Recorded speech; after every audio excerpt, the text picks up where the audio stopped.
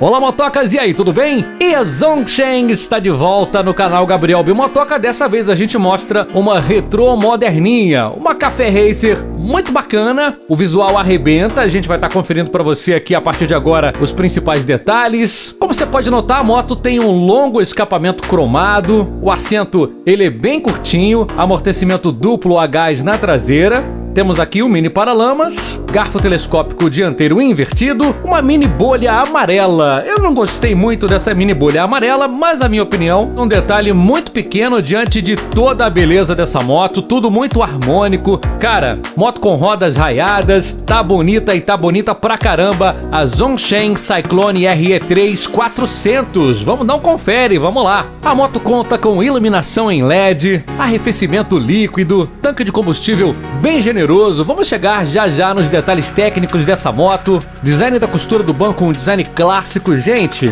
eu me empolgo muito, eu me empolgo muito falando de moto, você já, você já percebeu isso? E o canal Gabriel Bimotoca é assim, é o canal que traz todas as novidades no mundo duas rodas, independente das marcas, independente se tá no Brasil, independente se tá lá fora. É moto bonita, é novidade, a gente traz para você com muita empolgação. A proposta do canal é essa, para as pessoas que ainda não entenderam, tá bom? Vamos lá, falei do tanque. O tanque tem 17,5 litros de capacidade, bem legal. A moto é equipada com motor DOHC, dois cilindros e oito válvulas, refrigeração líquida. São 378,8 centímetros cúbicos de cilindrada. A potência máxima é de 36,7 cavalos de potência a 9.000 RPM. O torque fica na faixa de 3,6 kgfm a 6.500 RPM. Moto equipada com injeção eletrônica Delphi, moto equipada ainda com eixo de equilíbrio embutido, reduzindo mais a vibração do motor. Moto equipada ainda com câmbio de 6 velocidades. O painel da moto analógico e digital. Essa moto